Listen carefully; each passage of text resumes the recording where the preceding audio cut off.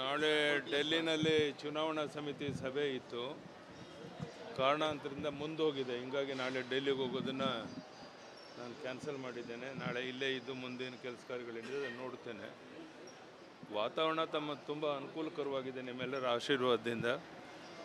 ಇಪ್ಪತ್ತೆಂಟು ಲೋಕಸಭಾ ಕ್ಷೇತ್ರದಲ್ಲಿ ಕನಿಷ್ಠ ಇಪ್ಪತ್ತೈದು ಲೋಕಸಭಾ ಆದರೂ ಗೆಲ್ಲಬೇಕು ಅಂತ ಎಲ್ಲ ರೀತಿಯ ಶ್ರಮ ಆಗ್ತಾ ಇದ್ದೇವೆ ಅದರಲ್ಲಿ ಯಶಸ್ವಿ ಆಗ್ತೇವೆ ಅನ್ನೋ ಸಂಪೂರ್ಣ ವಿಶ್ವಾಸ ನನಗೆ. ಸರ್ ಪಟ್ಟಿ ಬಿಡುಗಡೆಗೂ ಮುನ್ನ ಹಲವಾರು ಗೊಂದಲಗಳು ಬರ್ತಾ ಇದೆ.